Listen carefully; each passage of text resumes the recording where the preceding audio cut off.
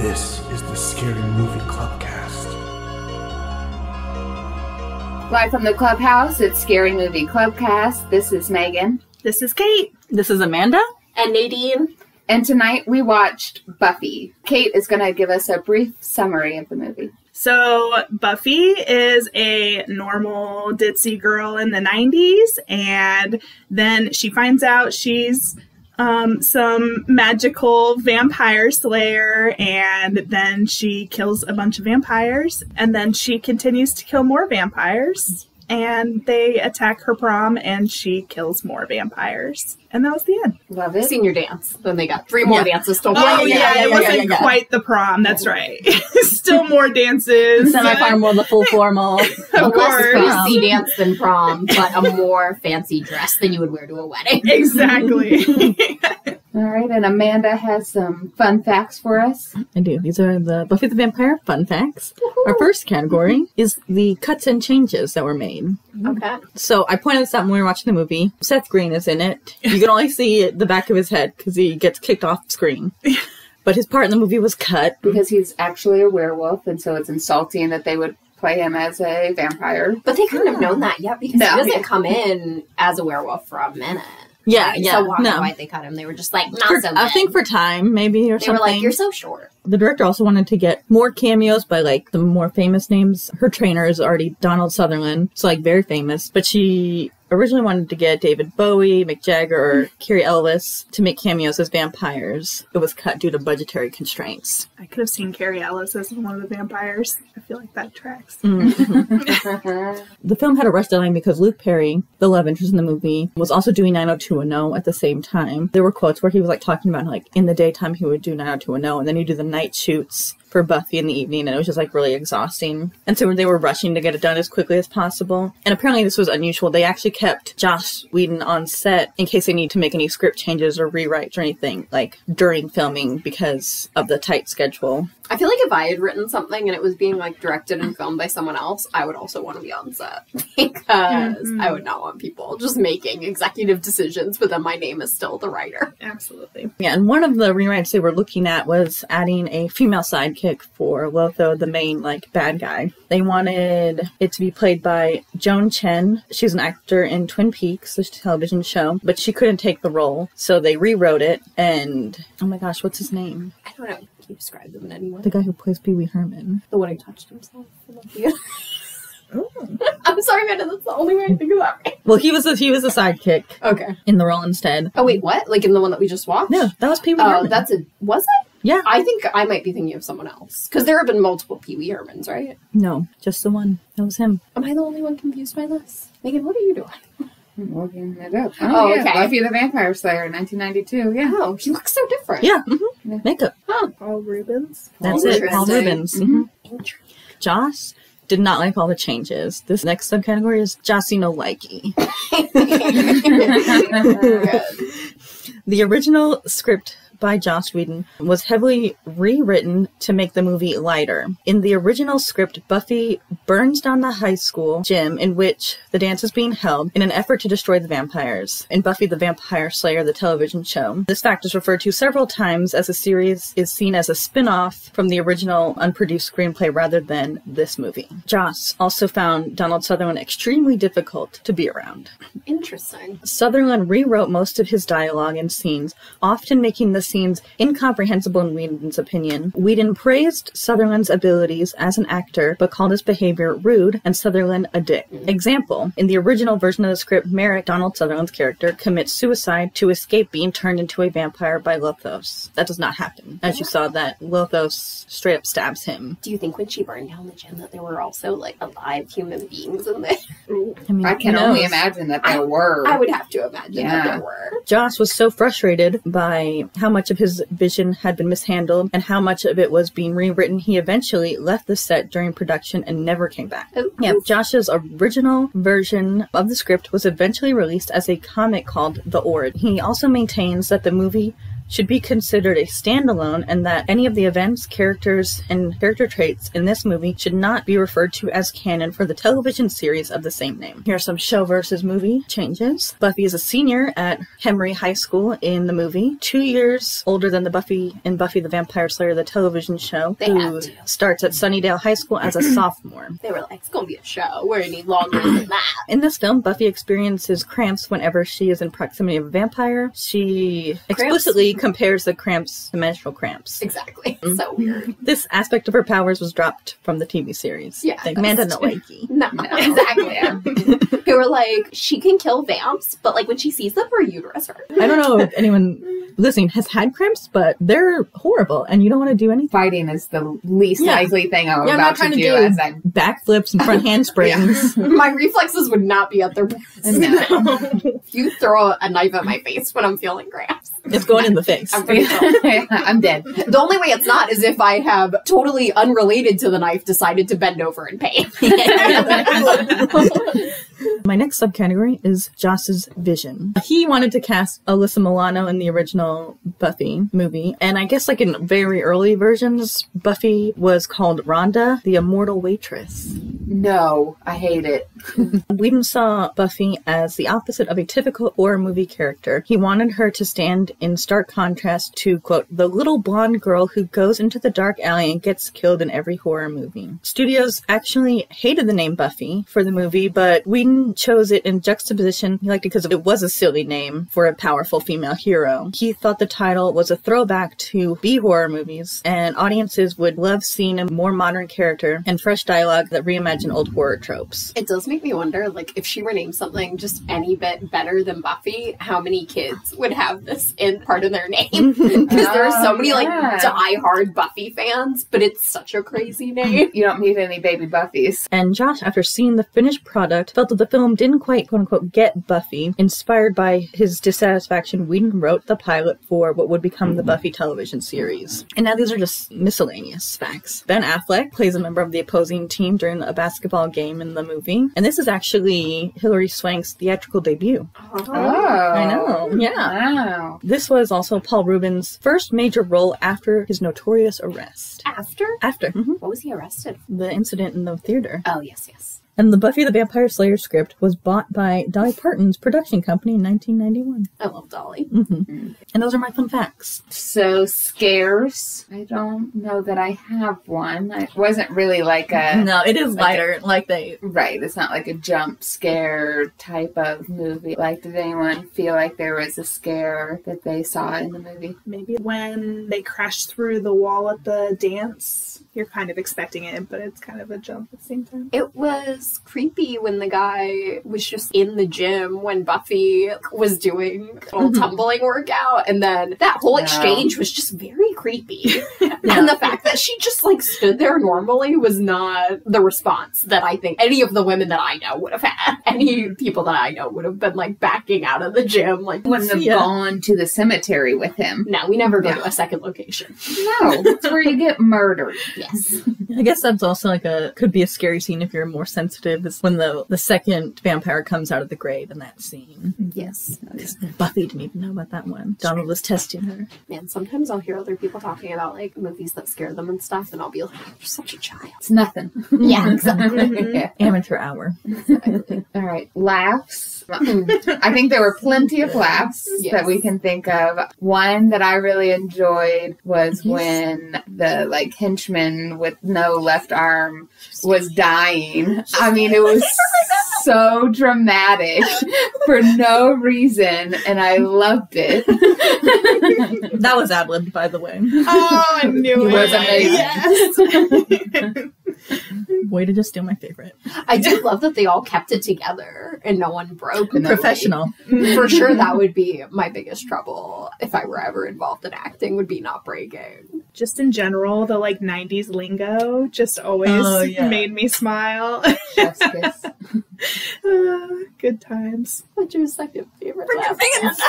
Oh my! Oh, I got it. When the principal's handing out detention slips to all the dead vampires, detention, detention, That is a detention, detention. it did seem to like take a turn to be like even more ridiculously funny and over the top. I liked it. It was very funny when Buffy got home after this first big fight and her mom's like, Do you know what time it is? Yeah. And then she just wanted to know the time. Not a concerned mom, just a concerned watch owner. She had places to be. All right. Uh, next is least favorite parts. Now, I would probably say the beginning scenes that we have with Donald Sutherland because he was just too creepy. I mean, he was always staring when he's by the bleachers, and then again when he's in the in the women's locker room. Like it just it gives off bad vibes. Did he need to seem so creepy? I get that he's he's trying to tell someone who he doesn't know at all that they're the chosen one and they have to fight vampires. I just feel like he could have gone about it in a better way. Yeah, not great social skills. The weird flashback scenes for me. Oh. I mean, To her past lives. Yeah, Mm. yeah. I think maybe they went on a little long or there was one too many of them, but I just found them really odd. Her, just her bad friends. Like, they were bad. Yeah. Like, the Mean Girls before Mean Girls was a movie. Yeah, I would say the general sexist tone. favorite parts. I feel like my funny part was my favorite part. I really enjoyed that. I also really liked at the end when the credits were rolling the newscaster and her interviews post dance with like all of the different people and they were saying really weird things. How one guy described the vampires as he thought they might be young Republicans. And I, which was just an insane thing to say because I'm not sure that I would ever be like, oh, you know, I'm describing a vampire, and I'm like, they could have been Leather jackets, pointy teeth, pointy ears, young, young Republicans. That's who it was. The pointy ears was the giveaway. I love a good training montage. Mhm. So, yeah, that was A that lot was of good pretty training outfits, classic. too. Oh, yeah. In this abandoned hotel for no reason. Loved it. I mean, I one of this is one of my favorites. I love it. So campy. Like I love the the '90s fashion of it all. Like what? So Amanda, do you like the cheerleading outfits? They don't bother me. Okay, the rest of us did not like them. I know you don't, but I like off, it. Let's describe it to anyone who hasn't seen it. Let me paint you a word picture. Imagine a what you think at first glance looks like a normal cheerleading outfit, except for it's midriff. But guess what?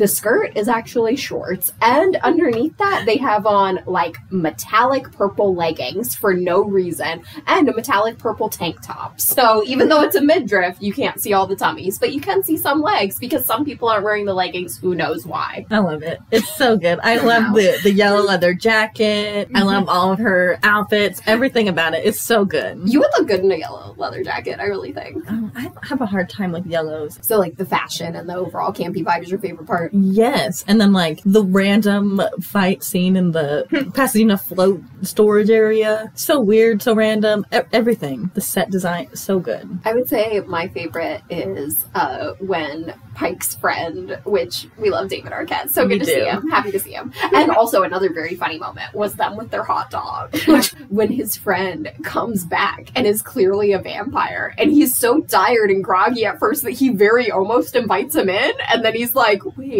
you're floating." Like, he literally says, "What are you on?" Yeah. He's like, Are you okay? And David Arquette's like, I'm, I'm fine. He's like, I'm so hungry.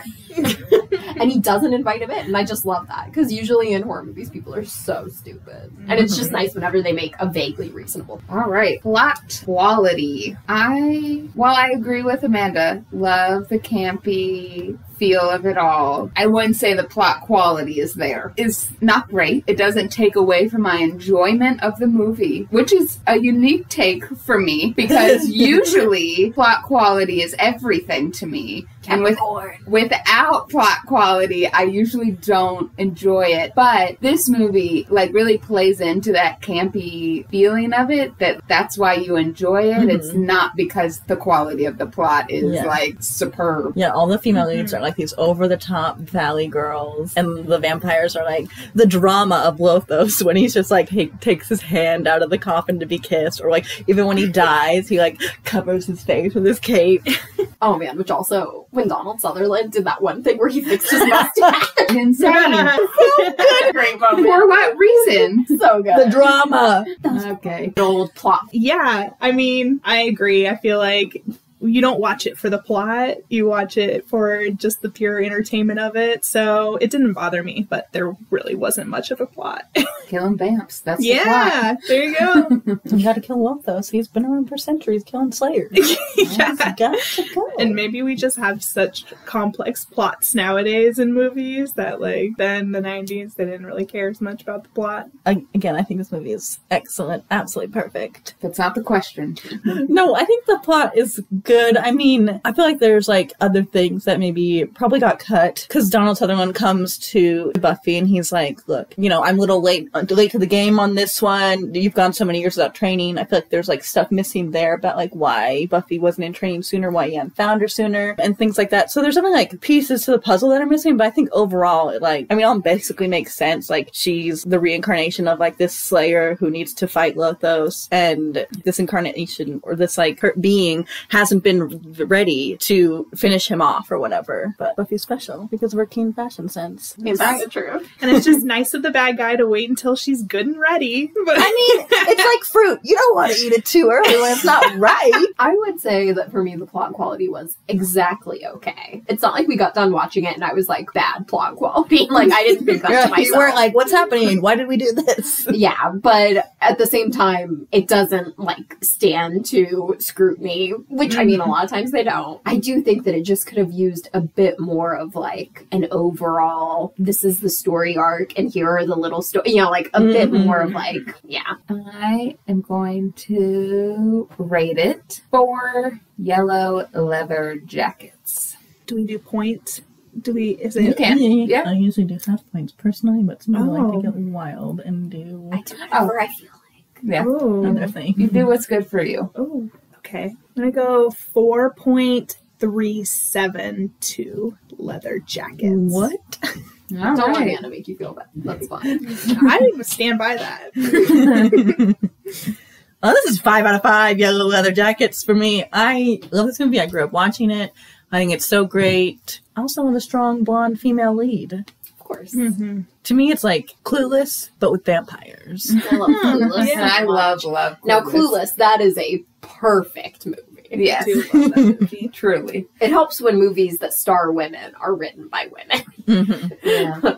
That, in my opinion, that's kind of what we're missing here. Yeah, I mean, Joss doesn't Berman Yeah. doesn't do a terrible job of writing women as strong female leads. I mean, Especially I- considering he's an abusive, horrible person. I personally don't put a ribbon in my hair before I fall asleep. that was a dream, the creepy old vampire's dream that Whatever, I'm just saying. She did, in fact, have the ribbon in her hair. Yeah, and you just see her take it out and be like, "Why is this here?" Look.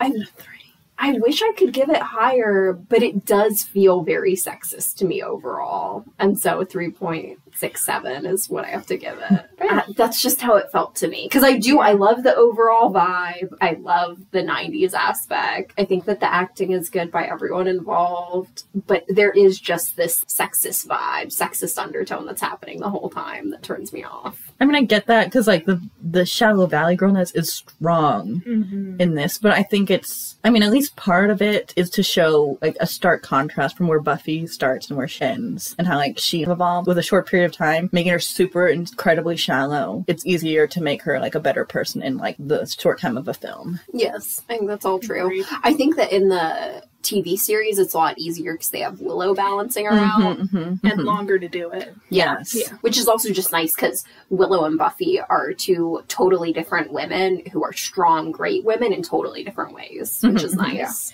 And like that also happens like after Buffy's like no, she's a slayer and has already burned down her high school gym with the vampires in it. So she's already done all this and so she's like not quite as shallow as she might have started as. She's a little firebug. I did love the principal handing out detention. So it's So good. And then everyone's dead, and Luke Perry's like, "I saved your day." This is not the time. The gym floor is covered in corpses, but yes, let's waltz. She's not like other girls, okay? Ugh.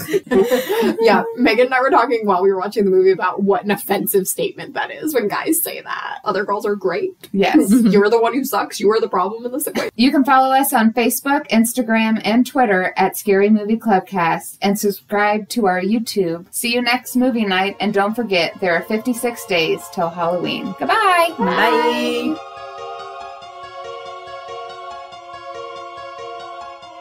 Live from the clubhouse, it's Scary Movie Clubcast. Should I start again? Probably. You cannot be laughing. It was Live, It was Amanda. live from the clubhouse. It's Scary Movie Clubcast. This is Megan. Kate doesn't know her. No, Kate. Was I supposed to go next? Yeah. Kate has been on many an episode. and continues to kill more vampires. You better don't joke. Unbelievable. Thank goodness that cup was empty. Just so anyone knows, the cat just knocked over a cup out of rudeness. Oh, It was weird. Poor Yeah. Seth Green. Kate.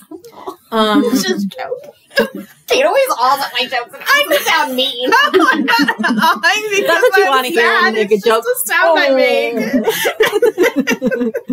Do you think that I should unplug the cat water thing? definitely. Yeah. I, I thought about it earlier and then forgot about it immediately. Well, that's not how it goes. Um, Cat probably. Even meow. It's Meow like he signed the crime. that was so good. oh man. Peppy boy. Five is like the ultimate. yeah. Yeah, it's out of Yeah, yeah. Don't go above five. That, Oh, we're not no. crazy. I know. We're not unreasonable. There is a cap.